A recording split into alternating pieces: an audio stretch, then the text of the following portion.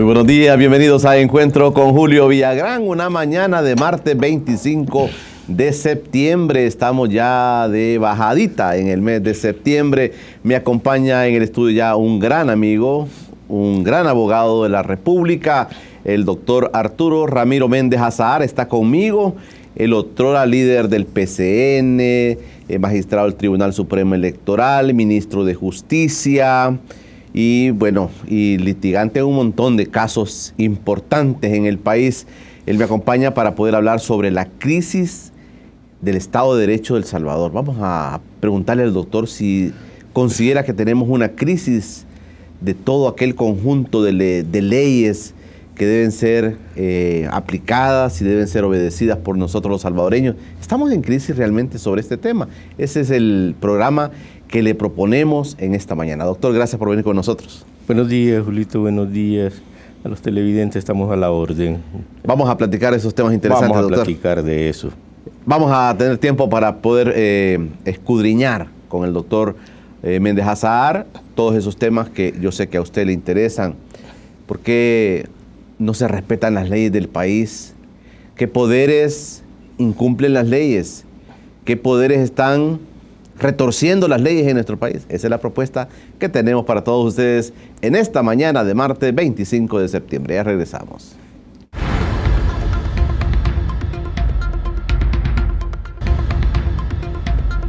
Estamos ya en encuentro con Julio Villagrán en esta mañana de martes. Ya está conmigo el Colatino, el diario Colatino de esta mañana. Dice asilo político de Funes inhabilita difusión roja de la Interpol. La Interpol dice, por cuestiones políticas, no puedo perseguir al señor Funes.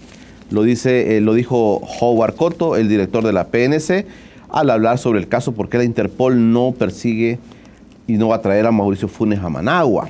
Dice porque son temas políticos y la Interpol no se va a meter en esos temas, ni religiosos, ni de otra índole. También aparece la foto del presidente de la República reunido con todos los el Consejo de Ministros y dice que el presidente, dice el colatino de la República, Salvador Sánchez Serén, y el titular del Ministerio de Hacienda, Nelson Fuentes, se reúnen con el Consejo de Ministros ampliado para presentar la propuesta de presupuesto 2019, la cual fue aprobada de manera unánime por los funcionarios del gobierno. Posteriormente se presentará esta propuesta a la Asamblea legislativa. Ese es lo que el periódico Colatino nos trae en esta mañana. Quiero aprovechar para saludar a algunas personas que desde fuera del país nos están viendo. A Frank Girón desde California, a Diego José desde España, a René Guerra en Canadá y a Ricardo Panameño también en Canadá. Y también Estela Solórzano desde Canadá nos está sintonizando.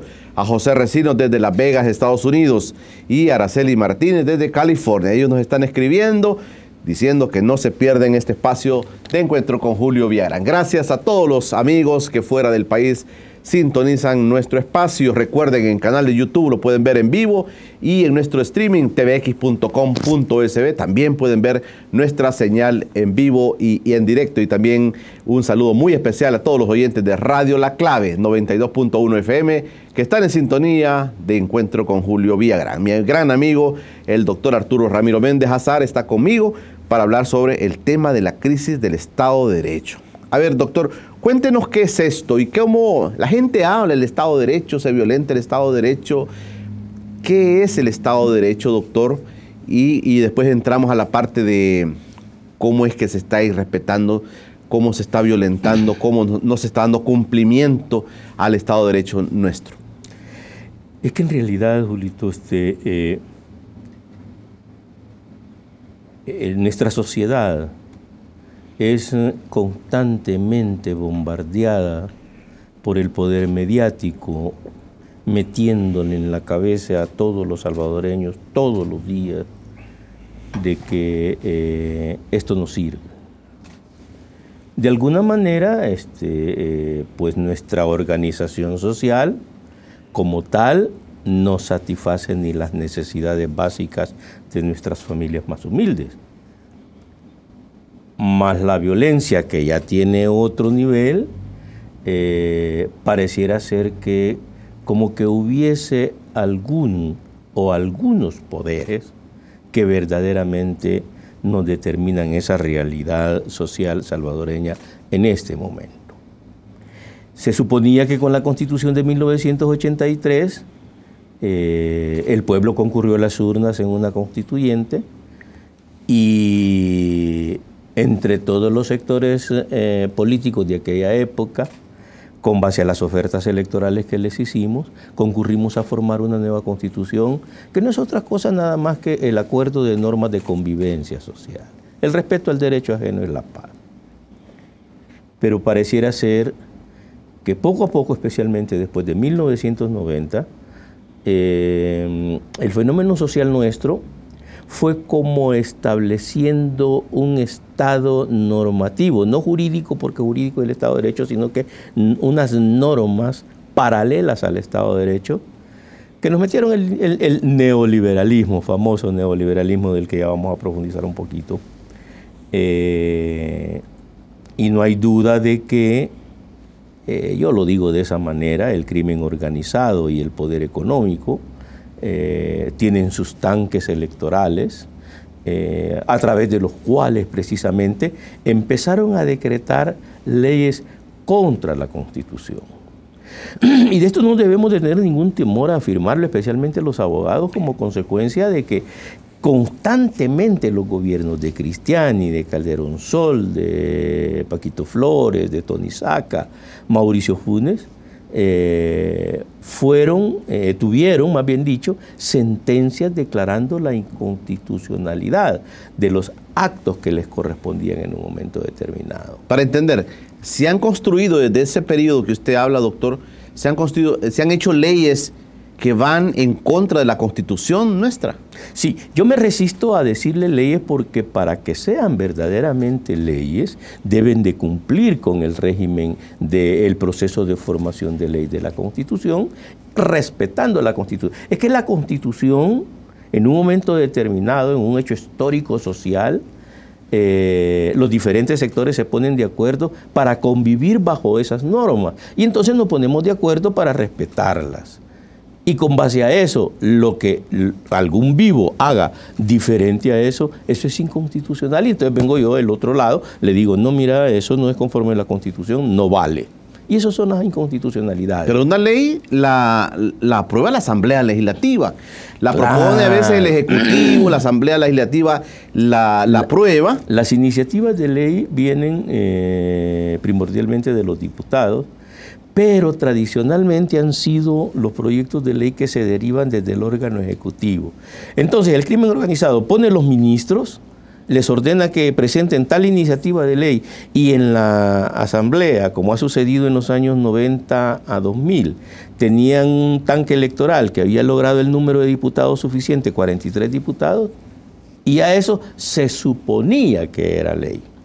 En verdad, el simple hecho que el órgano legislativo se atreva a obtener los votos suficientes, 43, para que una norma cumpla con ese requisito formal, no es suficiente para que sea ley de la República. Cumple con el requisito formal, pero le falta el de fondo, que es precisamente desarrollar los conceptos de la Constitución. Ese fue el problema que verdaderamente pues estuvo eh, constantemente la, mm, esta sala de lo constitucional, que yo digo que los primeros dos años fueron brutalísimos, por decirlo en términos populares, pero después les doblaron el brazo y desgraciadamente este, estos que pudieron haber hecho un papel mejor, lo cierto es que sí tomaron conciencia de su papel y estuvieron constantemente declarando inconstitucionalidades hasta las últimas que verdaderamente no fueron muy felices porque eh, violaron sus propias normas ellos mismos y entonces pues tenemos el resultado que me llama, la, me, llama la, atención dos cosas, doctor. Sí. Uno cuando habla del crimen organizado. Eh, yo quisiera que me estableciera eh, claramente a quién se refiere. Uno. Dos, hemos estado jugando entonces en el país con un puñado de leyes que no, digamos, que contradicen la constitución de la República y que pueden estar en el orden económico, en el orden social, eh, que, pueden estar violentando nuestra constitución, pero sobre esa base nos han gobernado, hemos sido normados en el país. Es que precisamente cuando hablamos de Estado de Derecho, eh, Pareciera ser, y especialmente los abogados, que solo nos circunscribimos al ambiente normativo y de este el jurídico. El Estado de Derecho es más complejo. Tiene estructuras sociales a través de las cuales se manifiesta en la realidad. Y una estructura social que no podemos negar es precisamente la población electoral que somos la mayoría, ¿no? Dividida en dos grandes contingentes que son el voto duro de un partido político y el voto duro del otro. Y los otros andan viendo qué consiguen. Porque la, gran mayoría todavía no se define por uno de los dos y eso ha sucedido desde siempre. Pero detrás de penumbras, por decirlo de alguna manera, detrás de esa realidad hay quien o quienes están manejando los hilos de nuestra realidad social. Y su presencia solo se, solo se siente eh, por sus efectos. Por ejemplo, usted tiene un problema, eh, para ir entrando en materia, para hablar de la crisis del Estado económico, eh, la violencia y la inseguridad para el nuevo mandatario que va a llegar en febrero del otro año, no va a ser nada fácil enfrentar la violencia y la inseguridad así como está estructurada en este momento. Las manos duras y, y super manos duras y todo eso, todos los programas de prevención que se han querido implementar. No, hijo. Detrás de ese tema de la violencia y la inseguridad hay un poder económico terrible. Primero, los bancos. Los bancos, eh, usted tiene miedo que a la vuelta de la esquina eh, los dos pesitos que carga para el día, eh, alguien se los quite y no hay una tan sola autoridad a un kilómetro de la redonda que lo pueda salvar. Entonces a usted ese es una, tiene un efecto que usted necesita de una institución como son los bancos. Y el negocio de las armas ¿Usted cree que la van a, eh, ya eh, por un decreto que dé eh, Nayib, Hugo Martínez, Callega, eh, prohíbense las armas? ¿Usted va a lograr detener eso? Cuando precisamente la industria armamentista es el principal negocio. ¿De no solo a nivel internacional. Y en el país, en el país pudiéramos decir quién Ahí están las ventas, fomentando eso. Ahí están las ventas de armas que eh, uno, de ciudadano común y corriente, solo ve la puertecita toda blindada, con sellada. Detrás de ellos supuestamente hay personas jurídicas, pero eh, eh, que no son más que testaferros, que detrás de esas personas jurídicas están los que verdaderamente manejan el negocio de las armas. Pero vamos al negocio, después del negocio de las armas, ¿y las empresas de seguridad?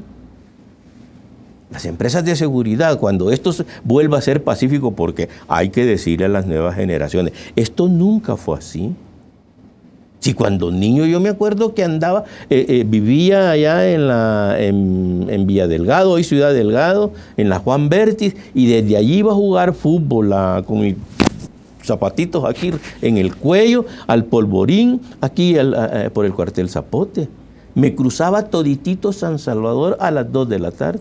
Regresaba, de ahí salíamos cuando el sol ya eh, desaparecía, 5 o 6 de la tarde, iba llegando a las 7, 8 de la noche a la casa. Porque mi abuelita me daba 7 centavos para el bus, pero compraba una paleta mejor. Entonces, este, eh, caminábamos libremente a cualquier hora del día, a cualquier hora de la noche, por cualquier parte del Salvador. Hoy no. Hoy de repente usted se encuentra en la cuadra cuando eh, uno va caminando y, ve a alguien, yo lo primero que hago es verle la cara y ver si es conmigo el problema. Cuando ya veo pues de que va viendo para otro lado, que va distraído, entonces va. Entonces la violencia y la inseguridad es parte de eso y eso supuestamente, para ir entrando en materia, en nuestra constitución que para aclarar por qué nuestra constitución tiene ese régimen de derechos individuales al principio, debemos de decir, como un hecho histórico, que la constitución de 1950, que es la verdadera constitución que fue hecha por nuestro gran maestro Reinaldo Galindo Paul, era una constitución inspirada en una ideología de corte fascista. Al grado que se manifestaba, porque allí tuvieron mucha influencia los militares, se manifestaba primero teniendo la parte orgánica del Estado. Primero aprendía uno lo que era el Estado. Y al ciudadano nos enseñaban a que a ese Estado era el que había que obedecer. ¿Cuál Estado? ¿Quién es el Estado? ¿Quién es el Estado? Somos nosotros. En, en 1983 corregimos eso y como nuestra constitución de 1983 es de inspiración humanista, obedece a, una, a un pensamiento ideológico humanista, pusimos primero a la persona humana. y a, partir de ahí, solo esto, el artículo primero determina que el Estado de El Salvador tiene como principio y fin a la persona humana para que no suframos todos los problemas que Perfecto. Vamos a ver qué tanto, qué tanto, digamos, la Constitución de la República y la normativa que luego se aprueba en el país pone al centro a la persona humana en el orden social, en el orden económico. Ya vamos eh, metiéndonos a este tema de la constitución, del respeto del Estado de Derecho, platicando con el doctor Arturo Méndez Azahar, nuestro invitado de esta mañana. Ahí regresamos.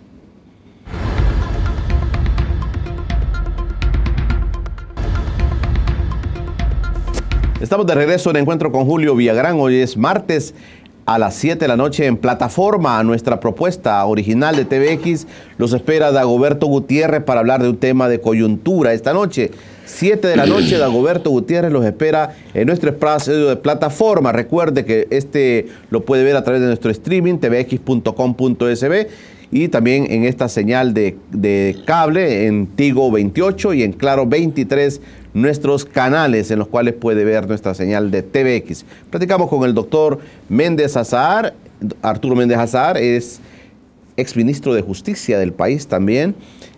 Hablamos sobre el Estado de Derecho. Doctor, en este orden de poner al centro a la persona humana, yo quisiera primero preguntarle en el tema económico. ¿Se le ha puesto a la persona humana al centro? Eh, en ese Estado de Derecho se le pone al centro? ¿Cómo se le ha beneficiado, cómo se le ha afectado con legislaciones que usted está poniéndonos claro que son a veces inconstitucionales? Es que eh, eh, aquí hay la oportunidad de citar algunos hechos históricos. En 1980-1990, digamos así, en esa década fue la guerra y se nos distrajo en esa teoría ambivalente de capitalismo contra comunistas, contra comunismo. A nosotros nos obligaron a esa guerra y luego nos obligaron a hacer la paz. Y para motivar un sentimiento que es muy salvadoreño, como es el religioso, para comenzar la guerra nos mataron a Monseñor Romero, porque con él comienza la guerra. Y para terminarla, Cristiani logró destruir la Fuerza Armada cuando le ordenó que mataran a los jesuitas a la Fuerza Armada. Y el comando, eh, el alto mando, decidió matar a los jesuitas. Dicen que el que come cura se muere. Lo cierto es de que nuestra historia, desgraciadamente, tiene por sacrificio a esas grandes personas que daban muchos aportes a la realidad de nuestro país.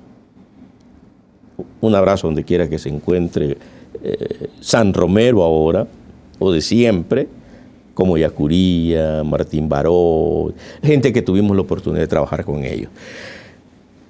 Cuando se nos llevan los acuerdos de paz se nos distrae. Y otra vez, el crimen organizado a través de sus tanques de comunicaciones, que es el dueño de todos los medios casi en nuestro país, comienza a bombardearnos, a saturarnos, mientras Cristiani se servía con la cuchara más grande implementando su teoría neoliberalista, que tiene su origen en los Chicago Boys y que tuvo su eh, materialización en Chile. Las AFPs y todo eso comenzaron eh, con su tanque electoral, con arena, más el PCN de Ciro Cepeda, comenzaron a producir esa normativa que redujo a su mínima expresión al Estado.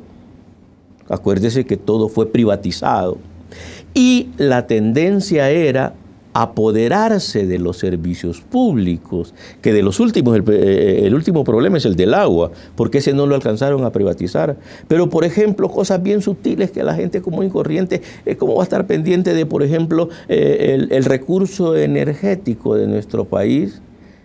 que esos, esos políticos de antaño se lo vendieron a las multinacionales. Las telecomunicaciones. las telecomunicaciones.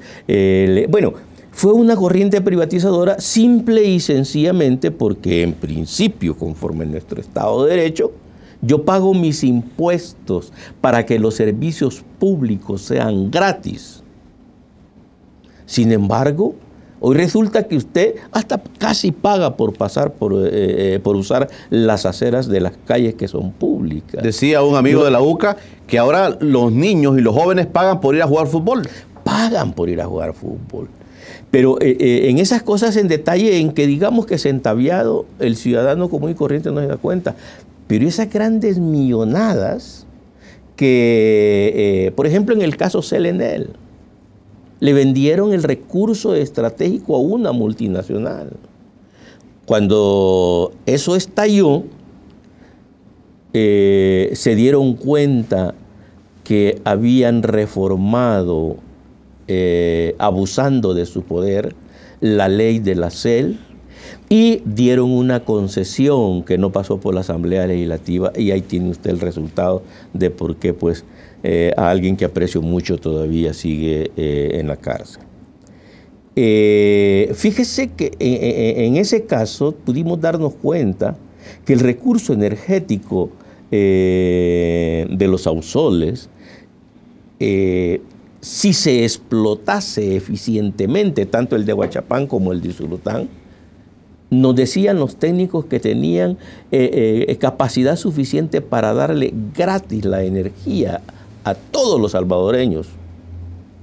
Eso debería, a eso está orientada la Constitución cuando dice que la propiedad privada debe estar en función social. Las AFP, doctor.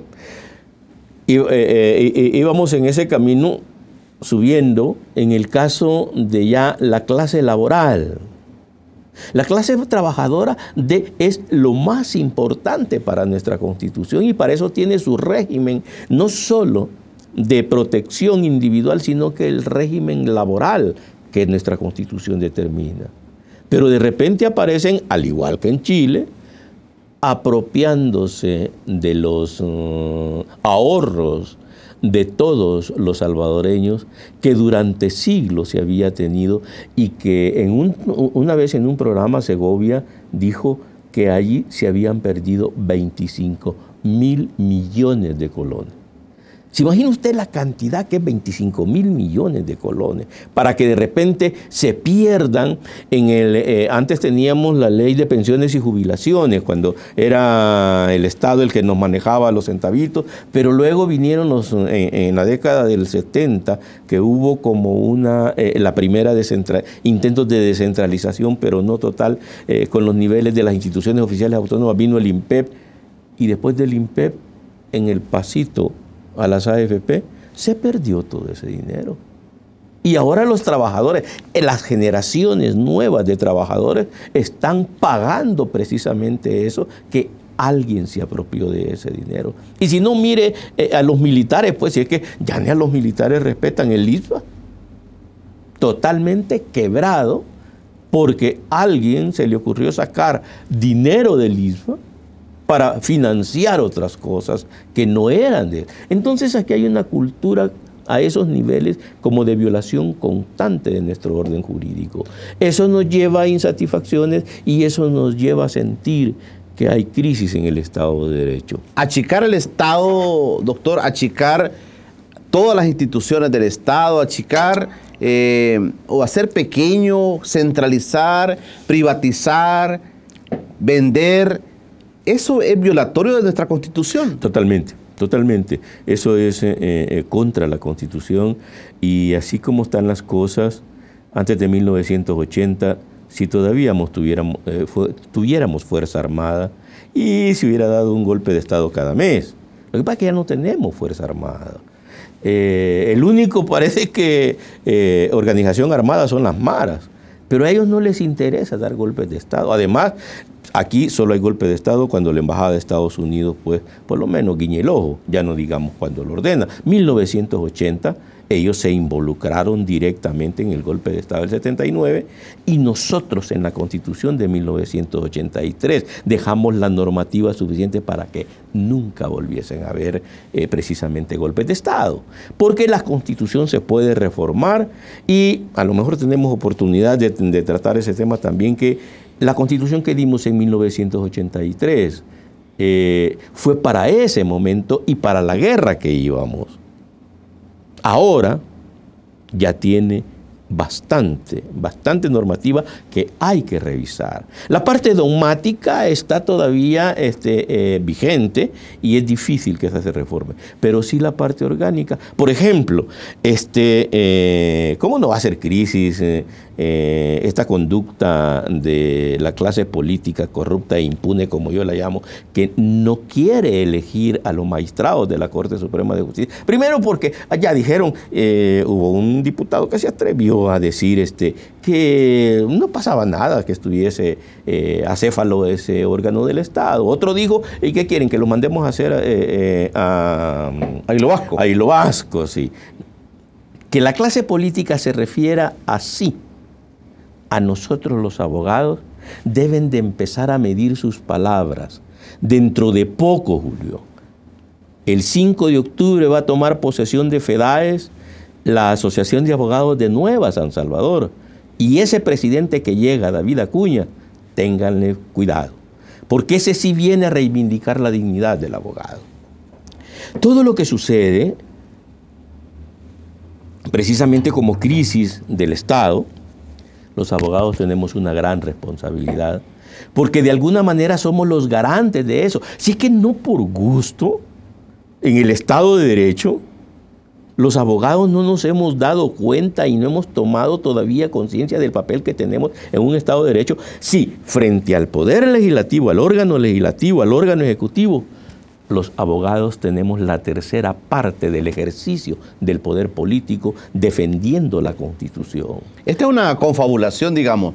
Si hay una crisis en el Estado de Derecho, si en nuestro país realmente, doctor, se están violentando principios constitucionales, pasa porque esto es todo un sistema que puede estar confabulado o un sistema que por los intereses fácticos pudieran estar siendo orquestados. Estoy hablando del sistema judicial, estoy hablando del sistema legislativo y el ejecutivo. Es que estamos como país presenciando, doctor, eh, una confabulación que nos está llevando a que nuestro país, por ejemplo, usted toca el tema de la seguridad, de la seguridad en el país. La violencia, la, la violencia que genera. O sea, ¿qué estamos haciendo realmente si hemos comenzado violentando los principios constitucionales, doctor? Claro. Es que precisamente eh, por eso decía que eh, cuando uno entra a las escuelas de derecho, la primera imagen es de que el Estado es lo máximo y que la Constitución y el resto de leyes eh, pues, que, que, la desarrollan pues es el mundo ideal. Pero el Estado es de realidad social también.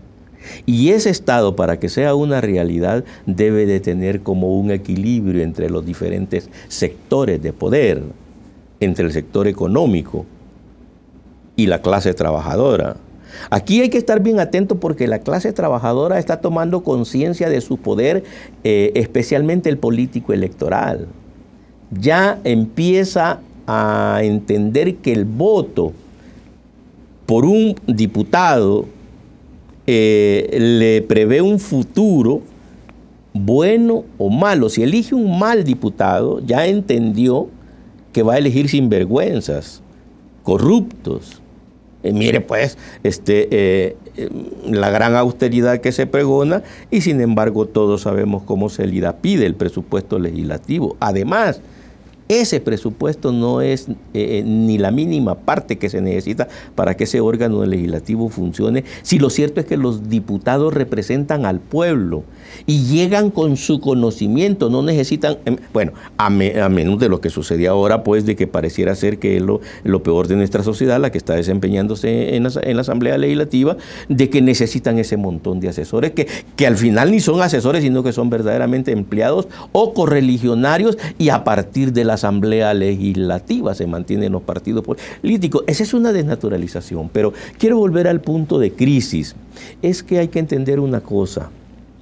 Eh, debemos de entender que el salvadoreño está en un constante perfeccionamiento de su sistema democrático. Y en este momento estamos por dar todavía ya un paso más, precisamente, y quizás el más importante después de 1980, para precisamente este, eh, eh, perfeccionarlo. ¿Cómo? Simple y sencillamente el ciudadano electoral ya entendió de que los funcionarios que eligió desde 1990 no fue lo mejor, porque ya en el ejercicio de sus cargos obedecieron a otros intereses en los que se beneficiaron económicamente y entonces el pueblo entiende nos equivocamos y vamos a buscar una forma diferente. Doctor, parte de la crisis del Estado de Derecho de nuestro país, parte de esa crisis es, por ejemplo, que estemos siendo testigos de actos de corrupción que nunca habíamos visto en este país. Así es. Este, eh, eh, eh, esto, para esto yo ocupo la teoría organicista de Platón, que me, me gustó mucho porque él habla de un proceso de perfeccionamiento de las sociedades en ciclos evolutivos.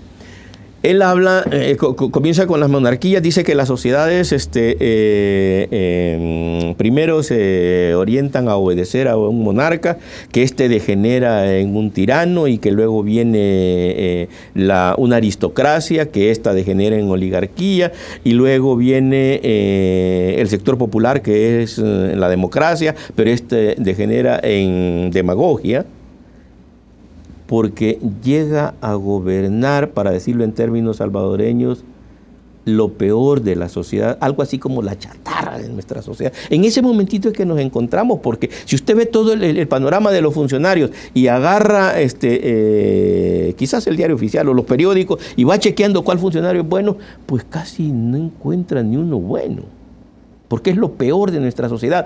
Pero lo brutal es que el pueblo salvadoreño ya está entendiendo que esa gente yo lo puse con mi voto. Y Entonces ya no voy a votar por eso. Y lo va a seguir eligiendo. no, no, no, no lo va a hacer. Ya no. Porque eh, eh, es que el fenómeno, por ejemplo, y si no, mire las dos fuerzas principales políticas, cómo están en menoscabo, y está surgiendo eh, otras alternativas. El pueblo instintivamente busca donde desahogarse, especialmente desahogar su esperanza de que esto sea mejor mañana. Bueno, vamos a... Yo le quiero preguntar doctor también, le voy a dejar planteado para el siguiente bloque, le voy a dejar planteado esto. ¿Quién debería protegernos de que no se violente más la constitución en nuestro país? ¿Quién debería haber hecho esa función? La Corte Suprema de Justicia tiene una sala constitucional. La Fiscalía protege los intereses del país también. ¿A quién le corresponde la protección de nuestro Estado de Derecho? Esa es la pregunta que le hago. Eh, esto es como para estar en una cátedra, doctor. vamos, a, tratar de, de, aterrizarnos para que todos entendamos esto, porque realmente son temas importantes que muchas veces no los tocamos, no los abordamos. Ya regresamos.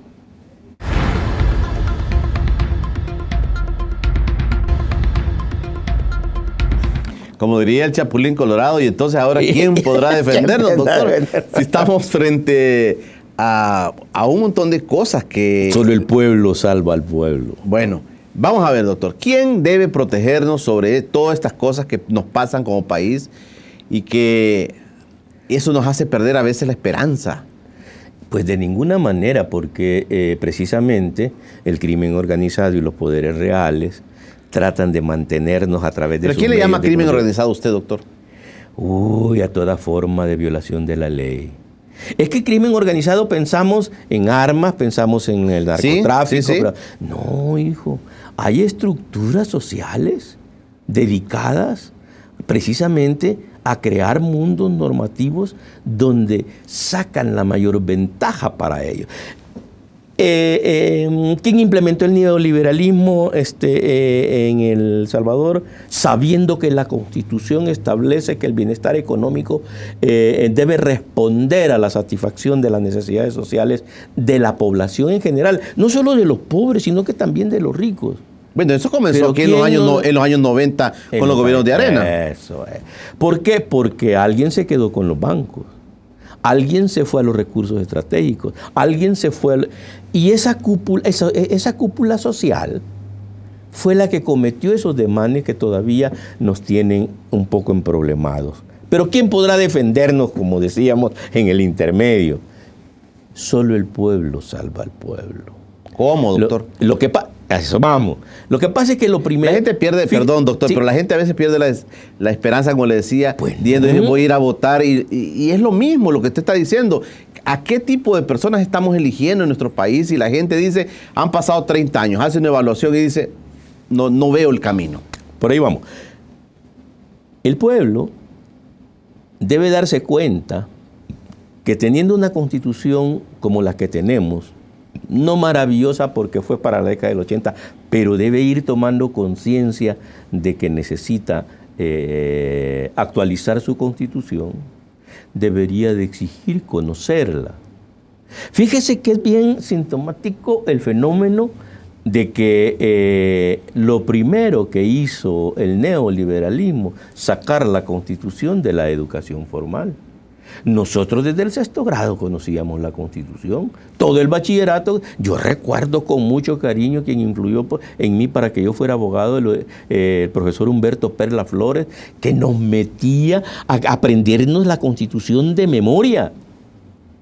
Y nuestros, eh, y nuestros maestros de maestros, que por cierto acaba de haber un homenaje para Chema Méndez, eh, que recordamos con mucho cariño, Reinaldo Galindo Paul, eh, Alejandro Dagoberto Marroquín, maestros de maestros, que no lo veían a usted como alumno, lo veían como hijo y que no era un profesor que llegaba a ganarse los, ¿cuántos? 10 colones creo que le pagaban por... No, él llegaba a enseñarle a usted para que usted, como nos lo dijo Alejandro Dagoberto Marroquín, brindo por el alumno que ha de superarme, dijo. Ellos veían en, las nuevas generaciones a alguien todavía que iba a ser mejor. Entonces volvamos, ¿quién, eh, quién, va, quién salva al pueblo? Solo el pueblo. ¿Cómo? Primero, conociendo la condición. Segundo, Allí en la Constitución está escrito ya por el 72, 73, que la obligación primera del ciudadano de los 5 millones y pico que somos ahora los del cuerpo electoral. La primera obligación es respetar la constitución y hacer que se respete. Por eso es que el proceso de inconstitucionalidad tiene por titular, allí cuando uno llega a poner un proceso de inconstitucionalidad, no le andan exigiendo que sea abogado, que sea ingeniero, que ciudadano. Mire, y lo que usted adjunta es su partida de nacimiento. Mire, doctor, pero si yo soy ciudadano, perdón, le voy a poner un caso.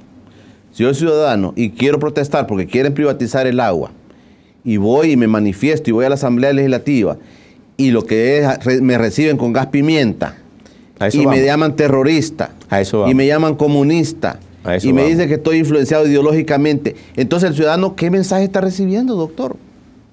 Eh, precisamente nosotros debemos de darle el mensaje que corresponde en función de que no se exponga porque esos sectores que organizan a diferentes grupos sociales para exponerlos a ser reprimidos son parte del sistema.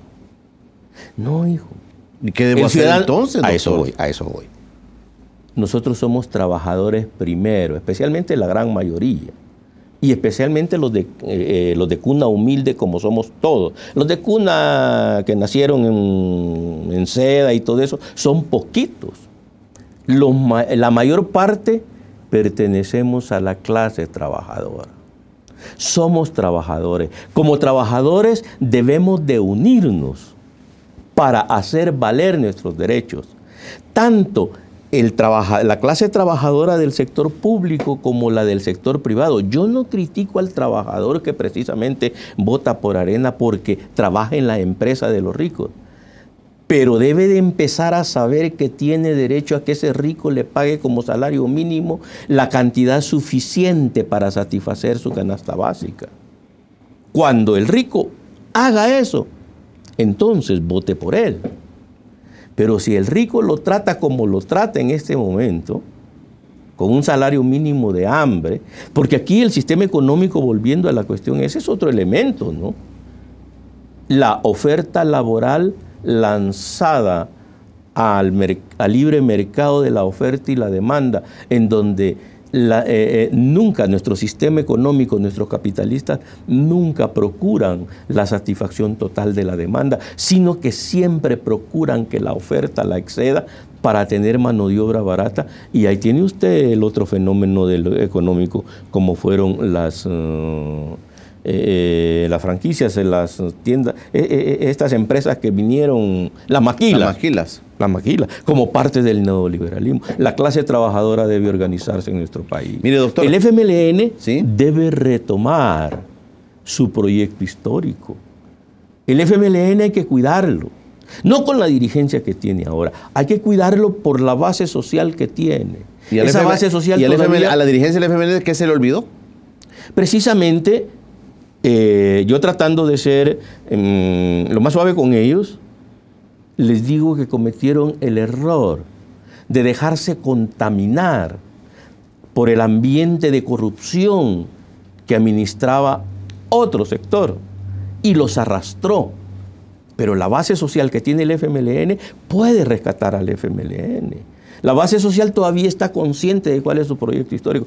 Y además, que el FMLN se pudiera destruir debe ser algo como inconcebible, porque es un proyecto que está que surgió precisamente de la sangre de 80 mil salvadoreños que hayan quedado en esto. Pero para muchos, eso no puede ser. Pero para muchos eso se le ha olvidado a la dirigencia del FMLN. A la dirigencia, pero no a la base. La base yo sé que está ideologizada. Yo trabajé con la base y yo sé que esa gente está consciente que debe rescatar el partido. Está en un proceso de transformación. Y la historia va a dar oportunidad para retomar eso. Como arena, los ricos tienen derecho a tener su partido político. Y ese es arena. Está bien, siempre que no eh, establezca su triunfo sobre la desgracia de la clase trabajadora. Porque aquí es donde viene que en el sistema capitalista, yo no soy comunista, pero en el sistema capitalista que vivimos son dos elementos sociales, y esto ya rebasa esto del Estado de Derecho y las normas sociales, el trabajador y el empresario. Esos son los dos grandes elementos que hay que cuidar, porque lo cierto es que no todos los empresarios son esclavistas, eh, eh, ni mazmorreros, ni, ni cosas por el estilo, eh, como la clase económica tradicional. No, no, no. Doctor, Precisamente eso, la clase media empresarial es la que ha sacado al país, no solo en la guerra, sino que en este momento, con base a qué? Otro elemento económico, las remesas, porque nuestra violencia y nuestra inseguridad nos hizo exportar lo mejor que tenemos, que es nuestra propia gente. Y esa gente, ¿cuánto es lo que asciende en la remesa ya? 6 mil millones de dólares más que el presupuesto nacional. Entonces, la clase trabajadora debe de entender que debe de saber votar por funcionarios que le presenten ofertas electorales. ¿Quién gobierna nuestro país, doctor? ¿Quién es el dueño del Estado de, nuestro, de, nuestro, de nuestro país, del Salvador? ¿Quién puede haber Asamblea Legislativa, Corte Suprema, puede haber Ejecutivo? Pero ¿quién realmente para entender un poco esto de la crisis, para entender quién está y quién ha sido causante de tanta inconstitucionalidad, por ejemplo, en el país. Precisamente eh, por ese problema de querer identificar en que los que nos gobiernan es los tres órganos fundamentales del Estado más los otros órganos constitucionales, eso no es así, porque allí llega la gente que el poder real que está entre bastidores quiere. Y si no, vea el ejemplo pues en la Asamblea. Cuotas partidarias para elegir magistrados. la, elección de los, la, elección de los, magistrados no va a depender de los diputados que están ahí. No, sí, sí, como que... no se ponen de acuerdo porque este no me gusta. No, no es así, doctor. No, no, son cuotas partidarias porque eso sí, de las cosas buenas que dejaron los cuatro magníficos cuatro personas que se le plantaron al sistema y que los primeros dos años, dos años dieron cátedra de lo que los abogados pueden ser en un verdadero Estado de Derecho. De ahí les doblaron el brazo, pues, y eso es parte de la realidad en nuestro país. Y no había nadie que los protegiera para que ellos siguieran funcionando como funcionaron al principio. Y si no, mire la cancelación del CD, pues. Bueno, un vamos grave a, error. Vamos a ir al- al poder eh, electoral. Se nos vienen elecciones, doctor, y ahí interviene ahí el tema. Bueno, la sala constitucional también tuvo participación, la, la que se fue, ¿verdad? Y también el Tribunal Supremo Electoral, de que usted fue parte como Consejo Central de Elecciones hace muchos años, pero eh, son parte del Estado también estas instituciones y nos vienen elecciones presidenciales ya en febrero del próximo año. Ya regresamos.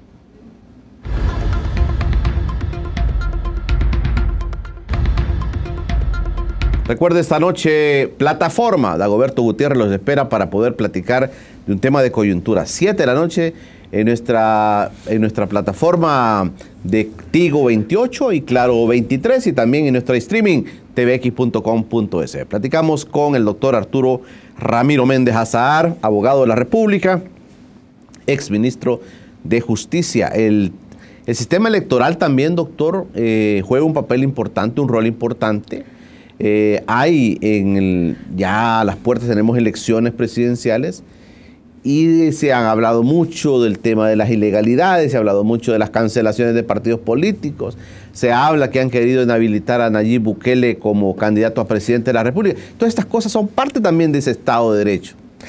Así como la Asamblea, la Corte responden a ese poder entre penumbras, eh, eh, con mucho sentimiento yo debo de decir, eh, una de las instituciones que yo más aprecio, el Tribunal Supremo Electoral ante el Consejo Central de Elecciones, a nosotros se nos atribuyó a diestra y siniestra conductas impropias porque éramos de partidos políticos. Hasta el día de ahora yo me siento orgulloso de haber formado parte del Consejo Central de Elecciones y de haber representado un partido político que en aquella época lo dirigíamos personas que sabíamos lo que hacíamos y no éramos corruptas. Y ese mandato yo lo desempeñé de 1984 a 1988. Inmediatamente de los acuerdos de paz, el ataque al Tribunal Supremo Electoral fue que no deberían de ser de partidos políticos y pusieron independientes. ¿Independientes de qué? Hoy todo el mundo identifica a cada uno de los miembros del Tribunal Electoral con un partido político a quien obedece. Nosotros, y lo digo con mucho orgullo, Mario Samayoa, un gran abogado del PDC. Eh, Paquito Meri- eh, Chico, eh, Francisco, el ingeniero Francisco Merino, de Arena, y yo del PCN. Pertenecíamos a las cúpulas partidarias y nosotros éramos independientes, no teníamos que andarle pidiendo permiso a nadie, porque nuestro mandato era consolidar el proceso democrático en El Salvador, aún perteneciendo a partidos políticos.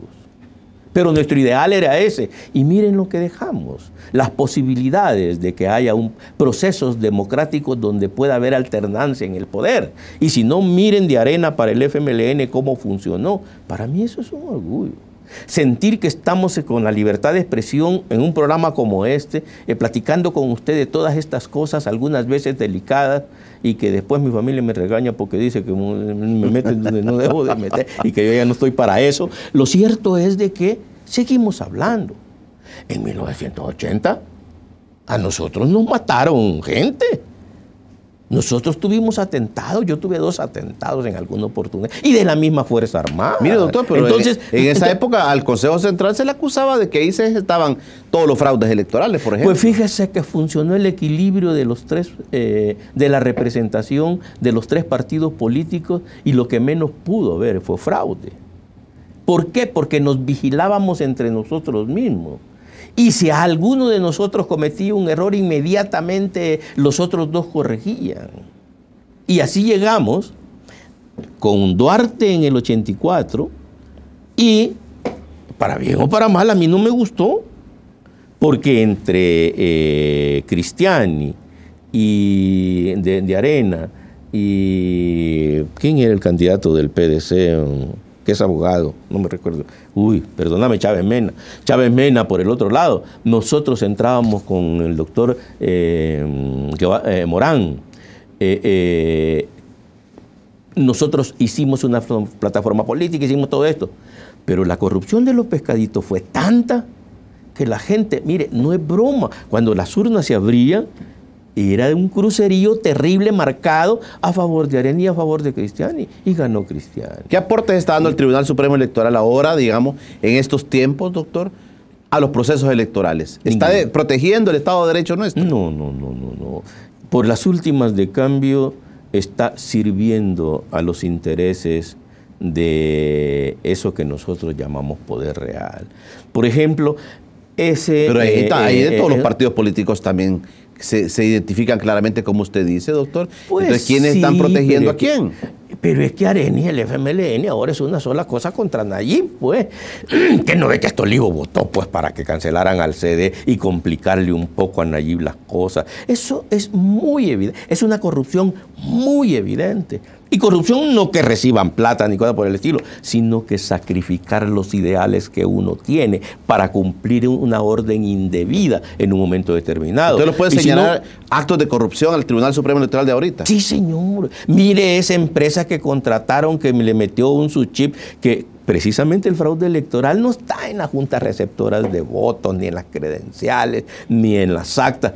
Está en el procesamiento del escrutinio final que es donde es posible. Si no se tiene el control suficiente por parte de todos los partidos políticos, que es bien difícil, bueno, eh, mire Julio Valdivieso, habiendo ganado las elecciones en el 2014, no quedó. Y así eh, personas que este, eh, fueron sustraídas para meter a otros precisamente que el poder real estaba interesado.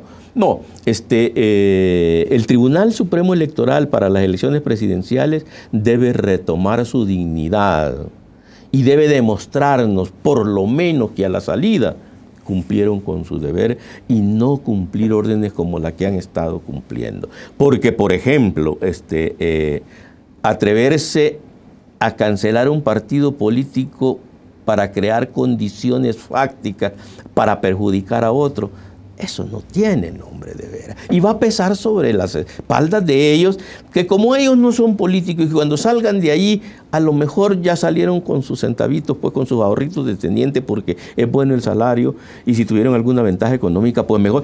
Pero cuando salgan de ahí, a lo mejor salen a litigar y todo y se pierden, eh, así como ya se perdieron los cuatro magníficos en el quehacer de la vida. Pero en cambio el político de carrera, que es lo que no tenemos ahora, ese pobre político, Dios me libre ser descubierto eh, en un acto de corrupción, en otras partes se matan. Todos esos que han recibido sobresueldos tratando de justificarlos. No, no, no, señor. Estamos llegando a lo peor. Y la clase trabajadora especialmente, el electorado, debe de ver con ojos críticos a esa gente y cuando los vea en su papeleta de votación, no vote por ellos. ¿Qué espera, Opte por nuevos. ¿Qué espera? Eh, ¿Usted espera nuevos? Usted ha mencionado en varias ocasiones el tema Nayib Bukele. ¿Cree que Nayib, eh, a pesar de todos los obstáculos que le está poniendo no solo el Tribunal Supremo Electoral, se dijo también de la Sala Constitucional. ¿Usted cree que tiene buenas aspiraciones Nayib Bukele? Buenas posibilidades. De posibilidades de, digamos, de llegar hasta inclusive a ser presidente de la República. Lo que pasa es de que, y aquí ya se va metiendo uno en problemas, pero vamos a decir, uno debe sentir, de decir lo que siente. El problema es de que eh, como realidad social política para febrero del otro año, tenemos tres fuerzas políticas. Vamos, ya no levantó cabeza. Definitivamente el, proyecto estratégico, yo les escribí en un momento determinado de que iban bastante bien porque empezaban a manifestar, pero la centralización precisamente, el monopolio de la organización, mensaje y todo eso, en una sola persona ya no va. Aquí tenemos tres fuerzas que van a competir. Es el FMLN con Hugo Martínez, es Arena con Calleja y es eh, Gana con Nayib Bukele. Entre esos tres, el pueblo salvadoreño debe de escoger a alguien.